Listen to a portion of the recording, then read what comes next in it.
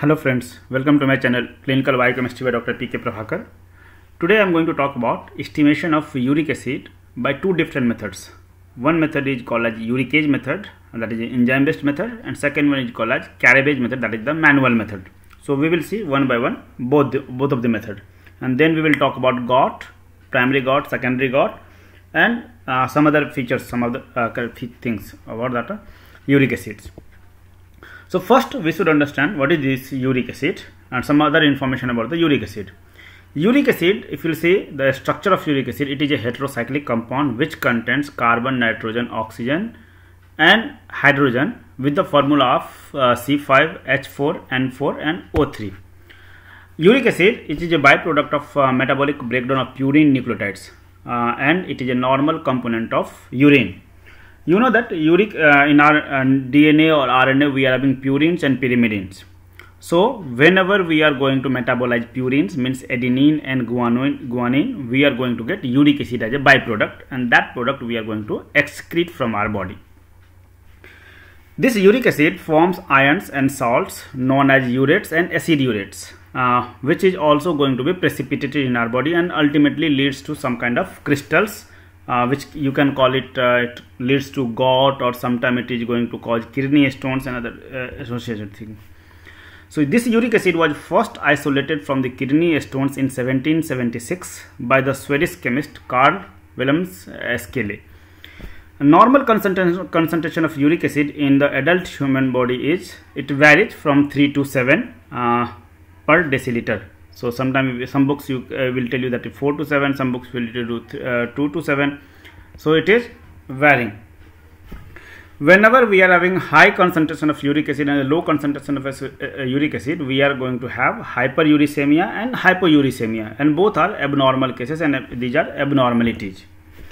High blood concentration of uric acid also causes the gout uh, where in the, especially in the joints uh, wherever uh, we are having joints so between the joints we are having uric acid crystal is going to form and that ultimately is a painful disorder painful abnormality which uh, we are going to call gout. High concentration of uh, uric acid is also associated with some other abnormalities like diabetes, uh, formation of ammonium acid urate crystals in the kidney and number of things. How uric acid is going to form in our body?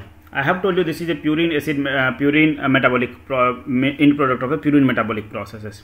So here we are having AMP that is adenosine monophosphate or GMP. These are the two two uh, purine nucleotides we are having. Whenever this uh, purine uh, either AMP or GMP are going to metabolize or its intermediate that is called as IMP is going to metabolize mediated by hypoxanthine and uh, uh, through guanine ultimately it gives us xanthine by xanthine oxidase or guanine deaminase. Xanthine is going to be converted to xanthine oxidase uh, and gives us uric acid. So this uric acid normally we are going to excrete. In case of some cases, some animal, this uric acid is also going to be converted into allantoic acid if they are having uricase enzyme. Otherwise, they are going to excrete in the uric acid forms.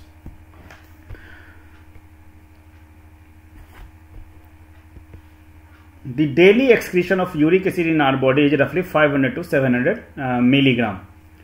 Now, this uric acid, if you see the structure of uric acid, uh, the two important structure of uric acid is this is lactam form and this is lactim uh, form. These two are the tautomeric structure of uric acid. So, uric acid normally is display in the two different uh, structures that is lactam and lactim tautomers, uh, which is also called as keto enol tautomeric forms like here you can see this is called as keto forms and this is called as enol forms. So at the uh, this lactam lactim form is expected to possess some degree of aromaticity. So because it is having if you see here we are having alternate double bond single bond double bond single bond like benzene ring. So this lactim has showing the aromaticity and it is uh, also aromatic behavior. This uric acid crystal is uh, crystallizes in the form of lactam. So in this case, whenever they will form in this structure, they are going to be uh, going to be crystallized. I will uh, we will later on we are going to tell you uh, when in which condition at which pH and uh, it is going to forms crystals. This uric acid is exists in two different structures in our body one is uncharged forms like lactam and lactim are uncharged form they don't have any charges and this is urate ion when they are having charge so these two charged or uncharged forms exist at different ph. And that is the uh, region means uh, that is the main points which we need to understand for causing of gout if you see the basic uh, chemistry of uric acid so uric acid is a diprotic acid uh, with uh, having 2 pK value, uh, the dissociation constant that is 5.4 and 10.3 and at a physiological pH, physiological pH, pH means pH 7.4, 7.2 to 7.4 which is normal uh, pH of our body, uh, your blood, uh, it predominantly exists in the monoionic urate ion. Uric acid is a weak acid, and with ionization constant of 5.8. So the dissociation constant or the pK value for this uric acid is 5.8. At the pH value below this pK, uric acid predominantly found in the non-ionized form which is less soluble than the urate ion. Urate ion predominantly forms at the pH of 7.4 or physiological pH means at our physiological pH uric acid exists in urate ions and there they are going to be uh, slightly more soluble uh, associated with the protein and it makes them more soluble. Several products of, uh, products of protein metabolic uh, uh, purine metabolic processes are relatively insoluble and can precipitate when urine pH is low means strong acidic conditions. Like in this case uric acid exists at pH 5.8 but at normal physiological pH it is exists in the 7.4 pH uh, in the ionic form that is more soluble form. So purine metabolic uh, metabolites of the purine metabolic processes are relatively insoluble and can precipitate whenever our urine will be acidic or pH will go down. Some of these compounds which is going to be precipitated at acidic pH is uh, 2 or 8 dihydroxyadenine, adenine, xanthine or uric acid. These are the compound which forms crystalline solids this is the picture first picture you can see that is the uric acid crystals and when this crystal forms and it is going to be joint means uh, forms between the joints their joints will be uh, inflamed so here you can see the inflammation re inflamed region and because of this uric acid crystals the inflammation is there and this is called as gout so how we are going to estimate so we are having two different uh, processes of uric acid estimation First one is enzymatic method that is uricase method. Second one is manual method which is Caraway method. So one by one we are going to see. First we will see uricase method and then we will see Caraway method. So uricase method, the principle of uricase method is in the first reaction, this reaction occurs in two steps. In the first reaction, uric acid in the presence of uricase enzyme converted to allantoin and it gives us carbon dioxide and hydrogen peroxide. So if you are having more uric acid, more hydrogen peroxide will form. If you are having less uric acid, less hydrogen peroxide will form. Means hydrogen peroxide is directly proportional to the uric acid concentration in the test sample. In the second reaction, this H2O2 which is produced in, during the first reaction is going to react with 4 amino antipyrine that is a chromophore color producing substance plus dichlorohydroxybenzene sulfonic acid. These two are the chromophoric substance. Chromophores they are going to give you color. This H2O2 along with 4 amino antipyrine and dichlorohydroxybenzene sulfonic acid in the presence of peroxidase it gives us quinonamine dye this quinonamine dye we are going to measure at 710 nanometer wavelength. So this is the principle of uricase method. So we use in our kit whenever we are going to use uh, use this method for the estimation we are going to use a kit. In that kit we are going to have uricase. In that kit we are going to have 4 amino antipyrine in that case case uh, kit we are going to have dihydroxo uh, dichlorohydroxybenzene sulfonic acid. Uh, we will have peroxidase so all these components al along with the buffer we are having all those components so depending on the uric acid concentration in the test sample you are going to produce H2O2 and as much as H2O2 we will produce here that much H2O2 will be utilized here. And if utilization of more H2O2 more quinonamine dye so intensity of color will be more.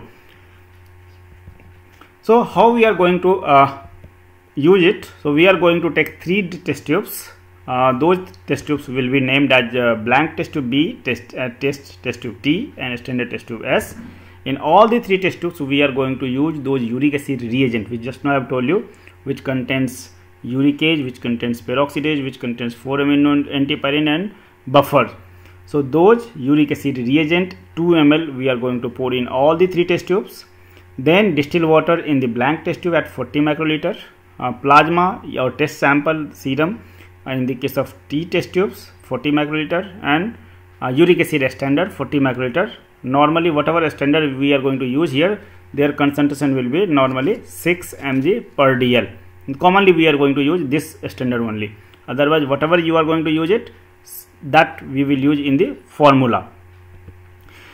After mixing these two components in each three tubes, we are going to mix them and incubate for 5 minutes at room temperature and then we are going to measure their optical density. Either if you are going to use colorimeter so you will use green filter. If you are going to use a spectrophotometer so we will use uh, 710 nanometer.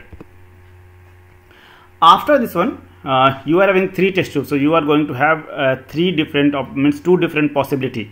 In case of option 1 you can take the optical density of all these three test tubes. So you will have OD for blank, OD for test, OD for standard in that case you can use this formula OD of T test minus OD of blank divided by OD of standard minus OD of blank multiply by concentration of standard. I have told you the concentration we are going to use that is 6 mg per dl. So that's why we have uh, we are going to multiply with 6. So this is one formula where we have taken OD of all the three test tubes. Second option is we are going to use blank solution for reading instrument 0 and then in that case we are going to have blank OD will be 0 and other two OD we will have. Then we can use this formula OD of T divided by OD of S multiplied by concentration of standard that is 6. So whatever value you are going to use, uh, get it that value will be the concentration of uric acid in mg per dl in the test sample. Second method we are going to have that is called as Caraway method. This is also called as phosphotungustic method. The principle for this method is we are going to use phosphotungstic acid in the alkaline medium oxidizes uric acid to allantoin. Reaction is almost similar to the first reaction only. In the first, in case of uricase method, there uricase was converting uh, uric acid to allantoin. Here phosphotungstic acid in alkaline environment converts uric acid to allantoin and this phosphotungstic acid converted itself to tungsten blue. And this tungsten blue we are going to measure at 710 nanometer. This is the uh, process this is the uh, reaction. Uh, so uric acid in the keto forms going to react with phosphotungstic acid uh, where oxygen will be there because it is going to oxidize oxidation reduction reaction will be there and this uric acid is converted to allantoin and phosphotungustic acid will be converted to tungsten blue in the alkaline condition alkaline environment. And this tungsten blue we are going to measure at 710 nanometer. Uh, in the previous method i have um, by mistake i have told, to, uh, told you 710 nanometer. There we, it will be 505 to 550 nanometer only in the case of uricase method. So, uh, so, so sorry for that one in case of Caraway method, we are going to uh, require these are the few uh, some of the reagents. We require 10% sodium tungstate, 2 by 3 normal sulfuric acid, tungstic acid, phosphotungustic acid, sodium carbonate for alkaline environment, and then uric acid standard. Here we are going to use 1 mg per dl, or you can use 6 mg per dl also. In the case of this method, Caraway method, the first step will be we are going to make a protein free filtrate. So we are going to take a test tubes in that test tube we are going to take blood uh, or serum 0.6 ml and in that one we will add tungustic acid 5.4 ml so total will be 6 ml we are going to mix them thoroughly and keep for 30 minutes and then centrifuge it. And super upper portion that is liquid portion filtrate portion we are going to use in the further step. So in the final step we are going to take three test tubes all the three test tubes will be named as BT uh, blank standard and test. There in all the three test tubes we are going to put 3 ml of different components. Like in blank we are going to put 3 ml distilled water. In test test tube we are going to take the filtrate from the previous step protein free filtrate 3 ml. And in S standard we are going to put a standard uric acid standard 3 ml. Then sodium carbonate 0.6 ml in all the three test tubes then phosphotungstic acid 0.6 ml in all the three test tubes. Mix them thoroughly and incubate for 10 minutes at room temperature. After that we are going to use again measure the optical density by using green filter. Or if you are going to use a spectrophotometer then 710 nanometer. Again we are having two options. Either you will take the OD of all the three tubes. So then ODB T and S you will have. And you can use this formula if you are using 1 mg per dl standard then your multiplication factor will be 1 if you are going to use 6 mg per dl then multiplication factor will be 6 so this 6 is equal to concentration of standard. So according to your concentration you have to use multiplication factor. Either 1 or 2 or 6 whatever you will use it. Similarly in option 2 if you are going to use blank for making instrument 0 then you will have only two test tube two readings t and s b, b will be 0 in that case you can use this formula t by s multiplied by 6 or 1 depending on the standard concentration. The reference range of uric acid uh, in different cases in case of male or in case of female uh, it is going to vary in books to book. On an average in case of female it is slightly lower value that is 2 to 5 mg per dl. In case of male it is 3 to 7 mg per dl whenever this concentration of uric acid going to rise or going to uh, up or down we are going to have hyperuricemia. And whenever it is going to decrease we will have hypouricemia. Hyperuricemia can be caused because of two reasons. Either we are going to have more uric acid formation or we are going to have less uric acid excretion. So because of these two reasons uric acid level is going to up in the case of blood in both the cases we are having either primary cause or secondary cause. Primary cause means if it is because of the more directly more uric acid main uh, process of uric acid formation is going to be increased. So this more uric acid formation can be caused because of the defect in some of the enzymes in purine synthesis processes.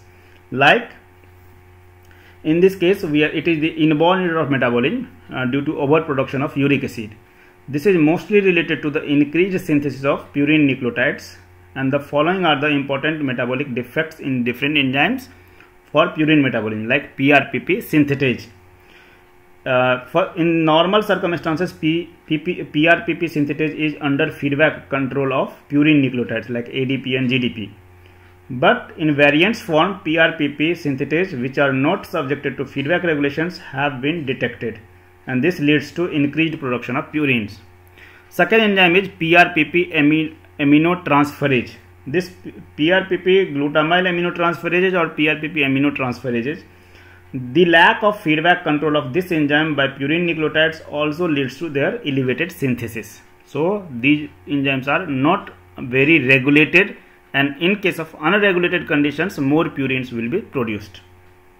Third enzyme is called as HGPRT synthesis HGPRT. This is an enzyme of purine salvage processes. Because in if you see the purine synthesis process there it is energy energetically very costly process. So normally whenever it is going to be degraded we are not going to degrade completely. We are going to use those degraded nucleotides for resynthesis of nucleotides.